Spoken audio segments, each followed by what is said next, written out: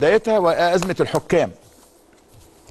رحيل كابتن جمال غندور فجر مشاكل كثيرة جدا داخل الوسط التحكيمي كل رئيس لجنة بيبقى فيه ناس مقتنعة بيه وناس نص نص وناس زعلانة.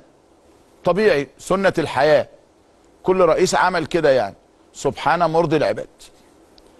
في عهد الكابتن جمال غندور اللي كان قصير جدا قولوا لي بس تعيين كان الكابتن جمال غندور كان إمتى؟ آه عاد الكابتن إبراهيم نور الدين ليصبح الحكم رقم واحد في مصر. ورجع الكابتن جهاد جريش عشان يبقى الحكم رقم ثلاثة في مصر بعد ما كان رقم واحد وايه واحد واثنين وثلاثة بتحسب إزاي؟ حسب مع الاتحاد المحلي يبعت القايمة للاتحاد القاري. خلاص؟ تمام. فهناك غضب من جهاد جريشة وهناك سعادة من إبراهيم نور الدين. ده طبيعي جدا يعني. وجهاد جريشة تعرض لإيقاف من بداية الموسم من الكابتن جمال الغندور بسبب إنه كتب حاجة أو طلع قال حاجة وحتى منعوا الكابتن جمال. وأنا كنت يعني انتقدت هذا الموقف. كان عنده مباراة في البطولة العربية للفار والكابتن جمال غندور منعه. ثم في النهاية كان هناك تحقيق وامتثل الكابتن جهاد جريشة.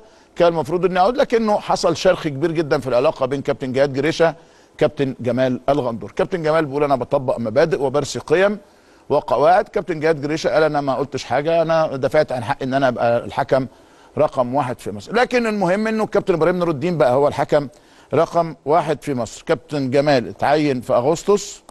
يبقى أغسطس بقى إيه؟ أغسطس سبتمبر أكتوبر نوفمبر ديسمبر يناير فبراير. نلحقش نقول مارس يعني سبع أو ثمان شهور كان رئيسا للجنة ودي مدة قليلة جدا. طلع آه كابتن آه إبراهيم نور الدين الحقيقة ولم يكن موفقا في آه كتابة على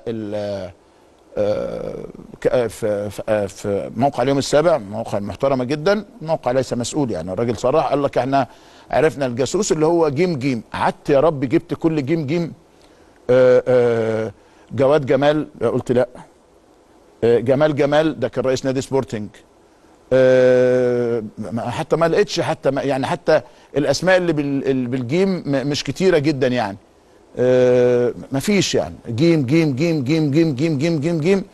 فلقيته جهاد جريشة. هو الكابتن إبراهيم نور الدين اتهمه إن هو اللي سرب الحديث بتاع الواتساب أو رسائل الواتساب. طب يا كابتن إبراهيم وقسما عظما على الهواء مباشرة أنا جات لي كل الرسائل وجهاد جريشة لا علاقة له بها, بها على الإطلاق. قسما بالله العظيم ثلاثة. ومن أول ثانية وأنا طلعت هنا قلت مش هطلعها لأنه ما أقدرش أعمل ده. أنا عندي رسائل صوتية في موضوع اتحاد الكورة ورسائل مكتوبة يعني لو كتبتها لو نزلتها يعني تقلب الدنيا كلها رأسا على عقب وتكشف كذب كذب وادعاء اللي بيطلعوا يقولوا غير كده رسائل صوتية ورسائل مكتوبة كاملة كاملة. لكنه الأمانة بتاعتي تقول إن أنا ما أقدرش أطلع ده ابدا ولا اسربه لحد. خالص. على الإطلاق. عشان تعرف بس إنه جهاد ملوش علاقة على الأقل عندنا بده.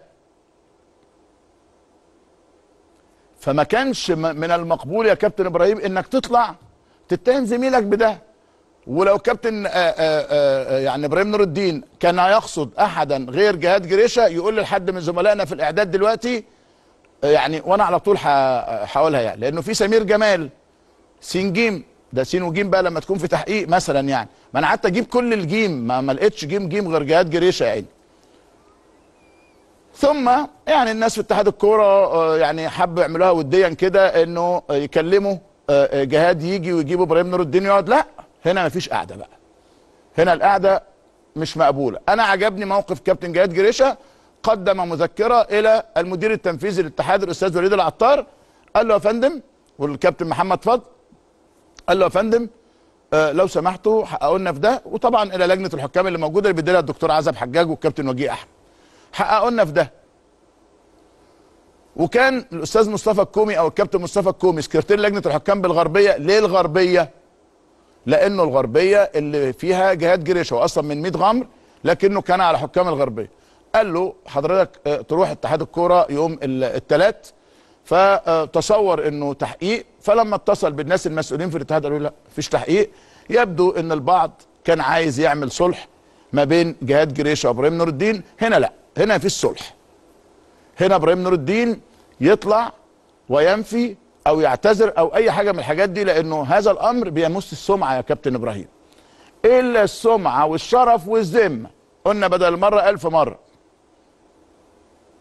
طيب نكمل مع جهاد جريشه وعلى فكرة أنا يعني أنا وجهاد لما بنتكلم بتكلم مع الناس كلها يعني لما حد بيطلبني في حاجة برد عليه. وقلت له أنا مش راضي عن مستواك السنة اللي فاتت. هو زعل مني بس أنا بقول هذا الكلام. لكن دي حاجة إن شاء الله يحطوه السابع دي مش شغلتي برضه. لكن أنا بشرح موقف. طلع خلال ال 24 ساعة اللي فاتت إنه طلب من جهاد جريشة إنه يعتزل ويتولى رئاسه لجنة الحكام لم يحدث على الإطلاق.